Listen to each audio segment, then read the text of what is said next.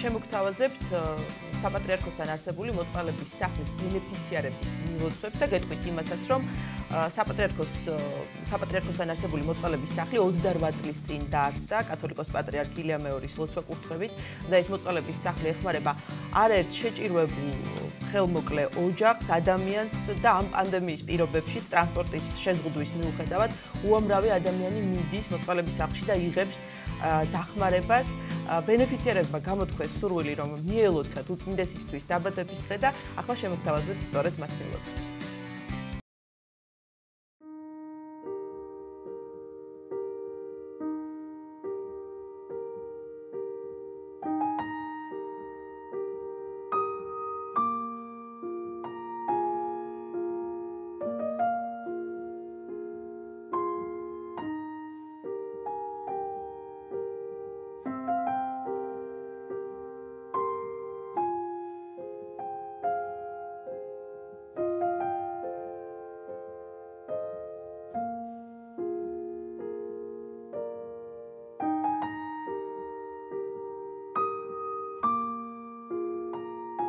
ულოცავ დაბადების დღეს პატრიარქს.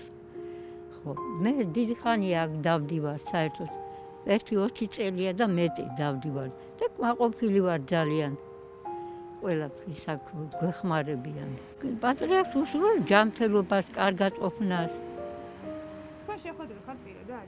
კი, შეხვედრი ვარ. აი აქ იხდიდნენ ხოლმე დაბადების დღეს და პირადად შეხვედრი ვარ მე. შიგნით შევდიოდი ხოლმე და ყოველ დაბადების დღეს რო იხდი და ჩვენ დაგვაპატიჟებდა ხოლმე ყველას.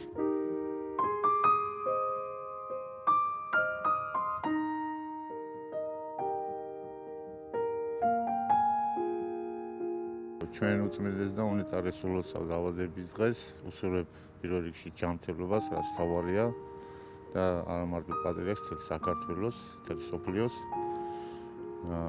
აქ ხშირად დავდივარ მეც გვაყოფილი ვარ. მე კიდე გამძენარე რომ აქ მოდის უპატრონო ხალხი, ყურადღებას აქცევენ პატრიარქის ლოცვა კურთხევით. იმედია ჯანმრთელად იქნება პირველ რიგში რა, რაც თავარია. დღესდღეობით მით უმეტეს. ამ კორონას და კორონას დროს.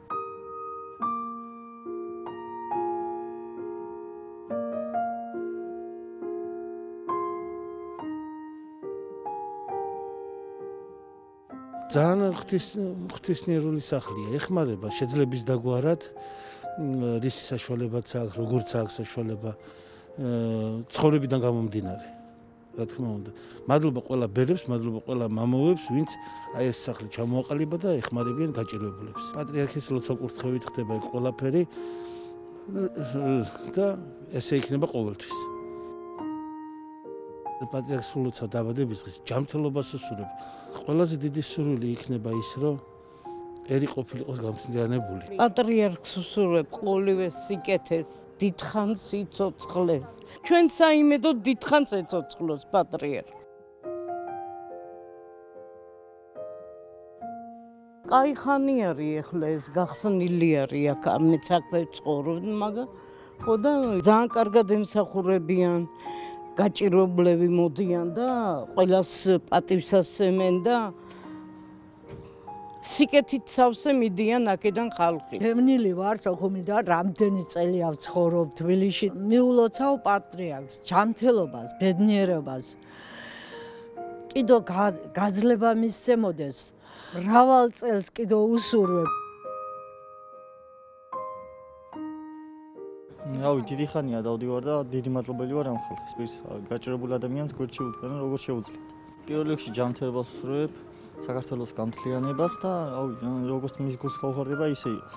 მრავალ ახალ წელს შობას ულოცავთ დიდხანს ყოფნას და რა ვიცი. თურმე სიკეთე კარგი და რაღაცა ღმერთმა დიდი ხანი ამყოფოს. თავარია ჯანმრთელად იყოს და რა ვიცი, თურმე სიკეთე ყოველთვის ხალხისთვის ზრუნავს რამე და დანარჩენი კიდევ ყველაფერი კარგად იქნება მე მგონი ღმერთის წყალობით. ულოცავ დაბადების დღეს უშუალო ყველაფერი კარგს მე ვიყავ იმ იმ წეს ვიყავ მაგის დაბადების დღეზე იქ. აქ. აქ რო იყო. მაგის დაბადების დღეს ვიხდი და მე მან ვიყავ. ულოცავთ პატრიარქს დაბადების დღე. მრავალ დაისწაროთ და ყველაფერი კარგა ქონდეს. მოვდივართ აი გვიჭის რა. ბიჭი ციხეშია და რაღაცა რაღაცა მოვდივართ, ხანდახან მოვდივართ. ძალიან კარგად ყველაფერი აი ეს რო არ იყოს ჩვენ შეერი მო ის იქნებოდით რა.